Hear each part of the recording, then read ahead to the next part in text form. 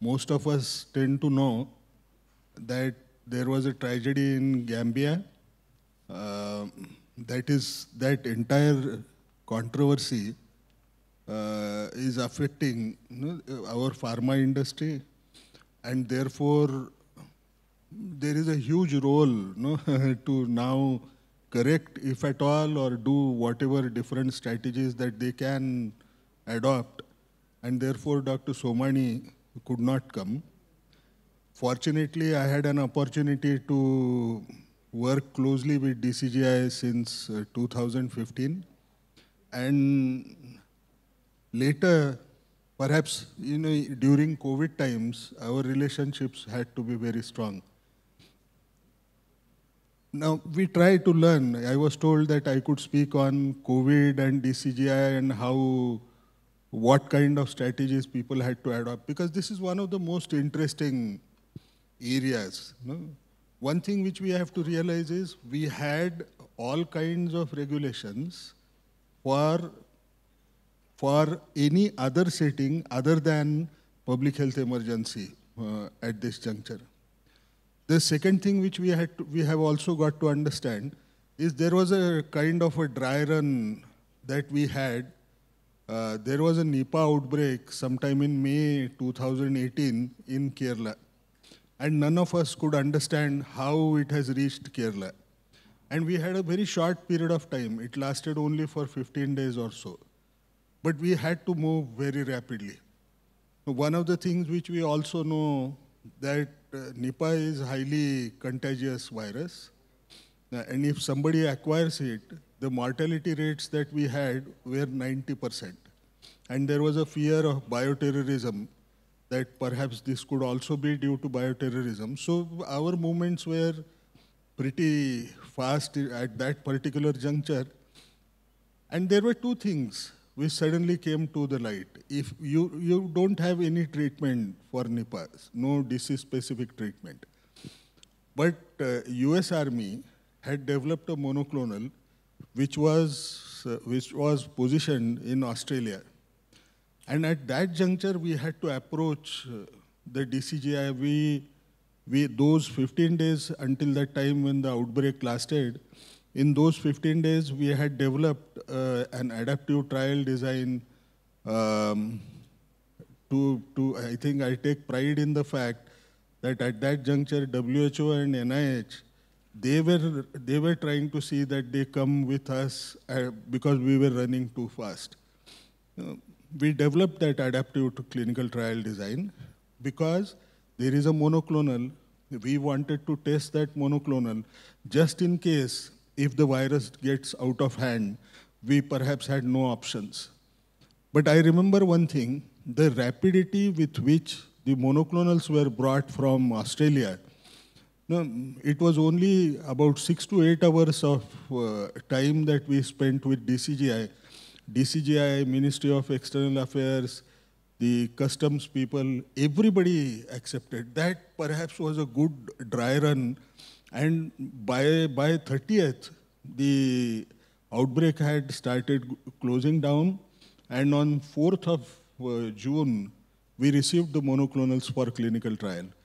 Now, which essentially means they had some understanding uh, when there is a public health emergency, how to move forwards in a, very fast way. So there was some experience that we had. And also the fact that for Nipah, you need a BSL-3 lab where you would perhaps do your testing. Unfortunately, in Kerala, there was no BSL-3 lab. So we had to makeshift BSL-3 lab was created in Nipah, uh, in Kerala. But the challenge was difficult to handle because we didn't want those who test die just because they got Nipah.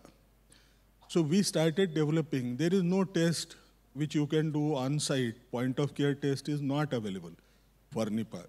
We took the challenge, we developed a point of care test which was indigenous and what is most important is we went to DCGI saying that now you approve it.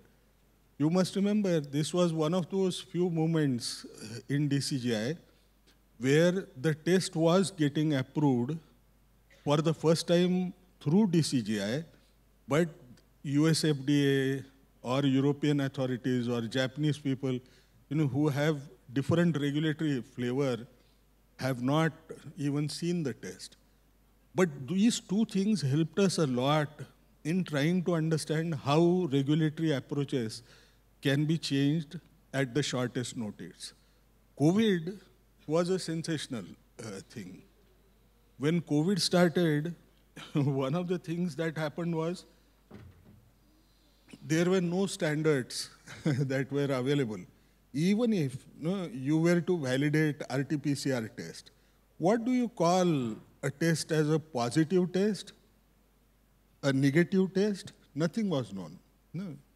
One of the things which we had to do, this had to be done in uh, uh, consultation with DCGI, because DCGI is an authority which will approve kits subsequently, based on what we say.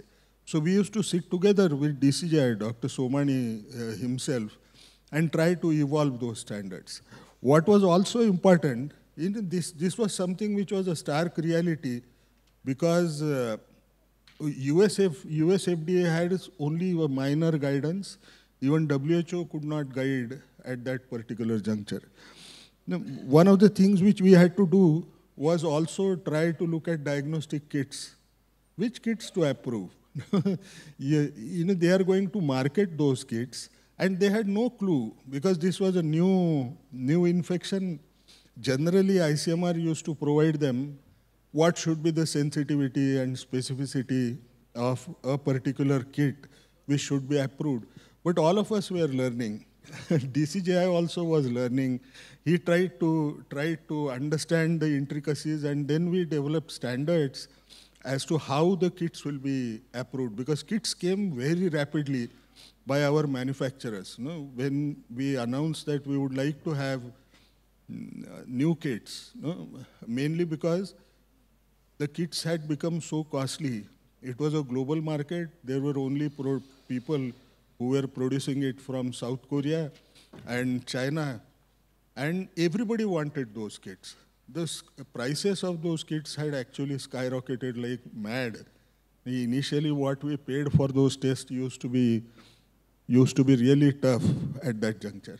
Then look at the drug trials that came.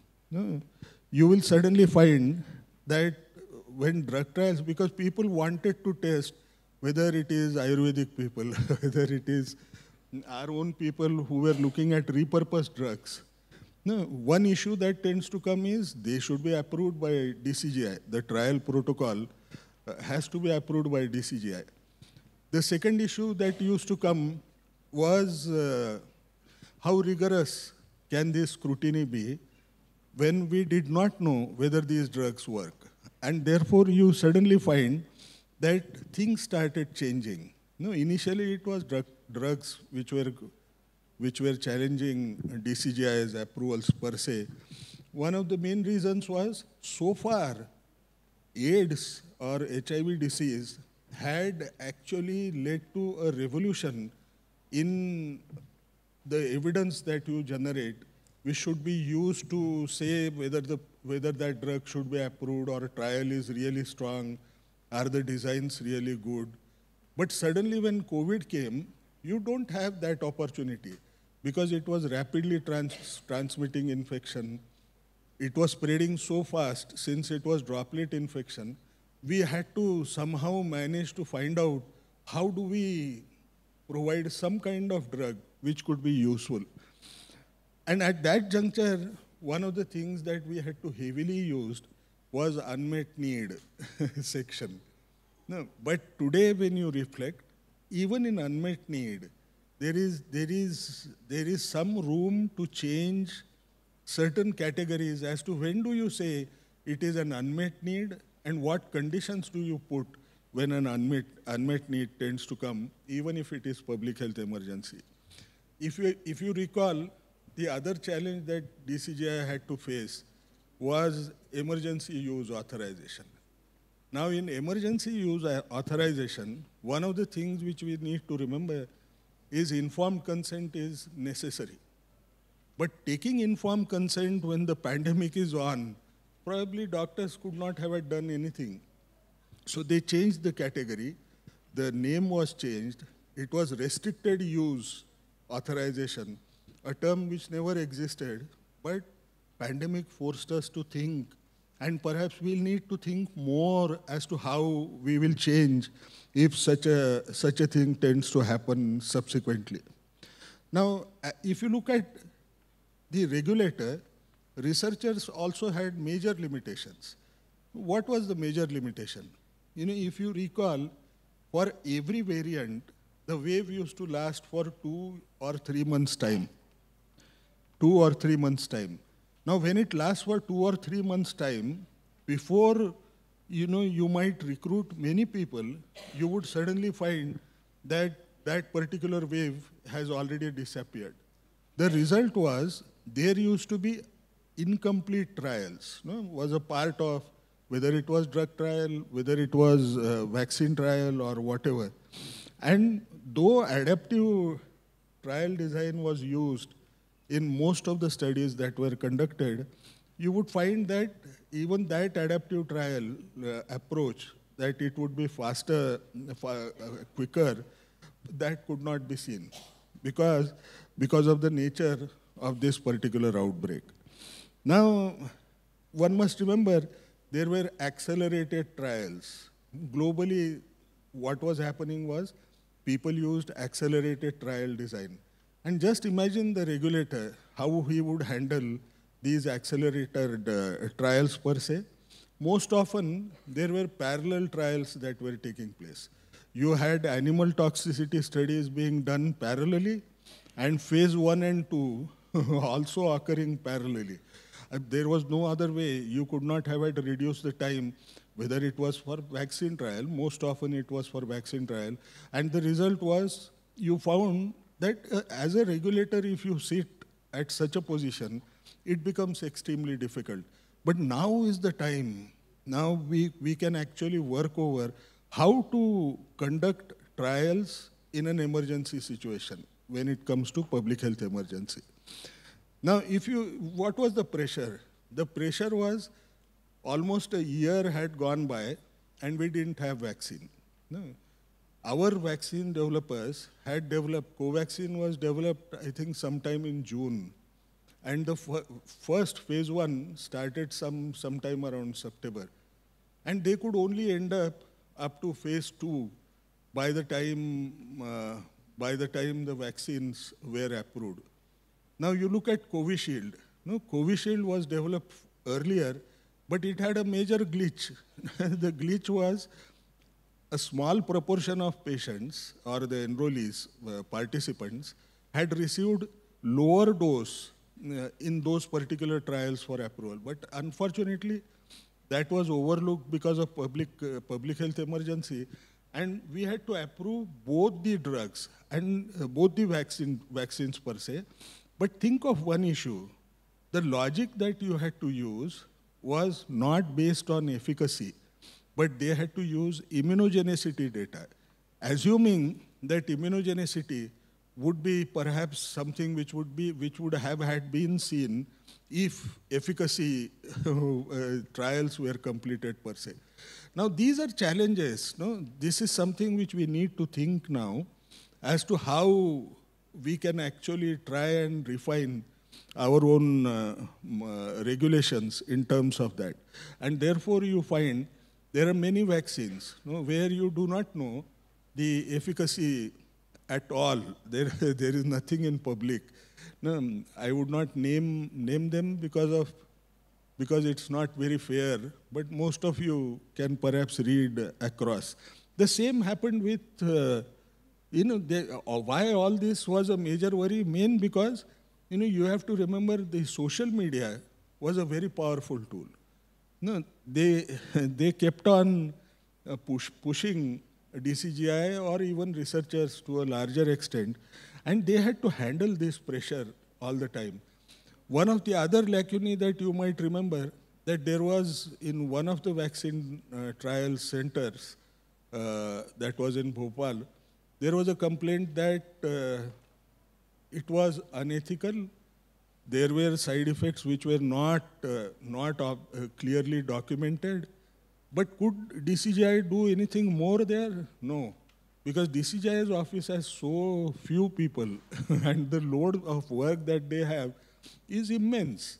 No, it is time. No, perhaps we have to invest in HR for DCGI mm, at this juncture, uh, uh, at this time point.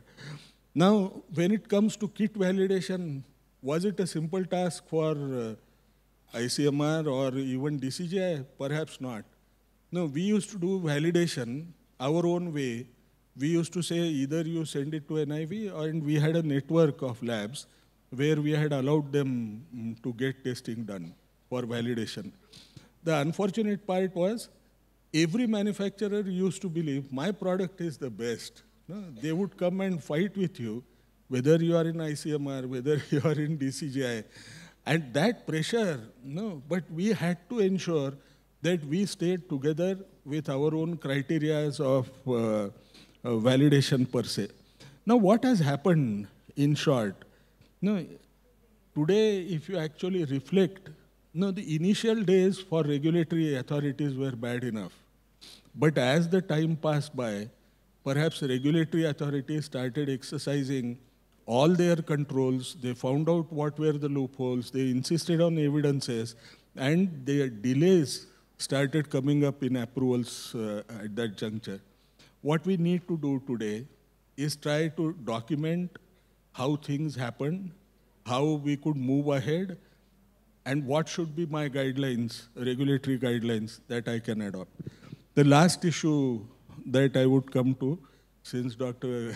Gurpur put me in a tight spot when I am not a regulator, but uh, two questions which he said concurrent uh, enrollment in studies. No?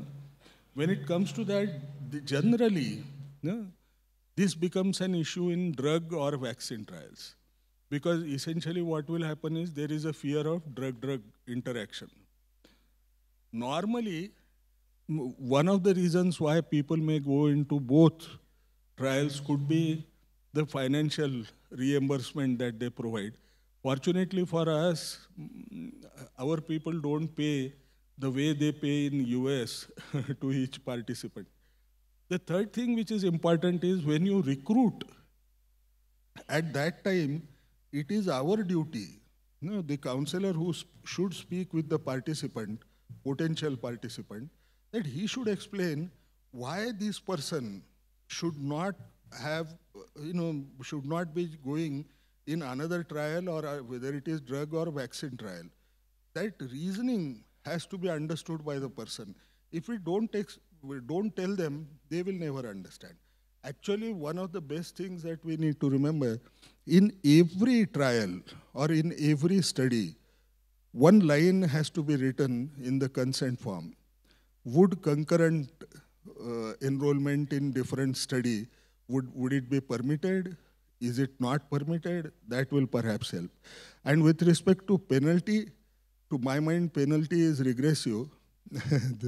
it's not a, not a good approach per se. Though for short, short term, the impact could be good. But I think we need to be progressive and explain to people that would perhaps work the best in the long run. Thank you. Thank you, sir.